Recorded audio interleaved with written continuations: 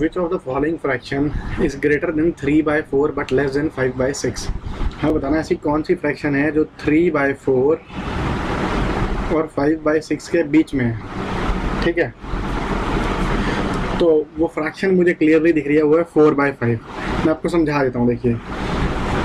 3 by four कितना होता है? 3 बाय फोर होता है 0.75 5 बाई सिक्स कितना होता है? 83.3333 मतलब या पॉइंट एट थ्री थ्री समझ लीजिए आप, ठीक है? ये कितना होता है? Point eight three three three अब मुझे बताना, इनके बीच में कौन सी है? सबसे पहली है two by three two by three कितनी होती है? Zero point six six six छोटी है ये। ठीक है, अगली कितनी है हमारी? One by two one by two कितना होता है? वन बाई टू होता है ज़ीरो पॉइंट फाइव ये भी थ्री बाई फोर से छोटी है। एक है nine by ten nine by ten यानी नाइन्टी परसेंट यानी ज़ीरो पॉइंट नाइन ये फाइव बाई सिक्स से बढ़ी है तो जो बच गई फोर बाई फाइव वो कितना होता है? एट्टी परसेंट यानी ज़ीरो पॉइंट एट ज़ीरो तो यही है जो इन दोनों के बीच में आती है। तो मैं क्या लिखूँगा? मेरा आंसर हो जाएगा four by five lies between four by five lies between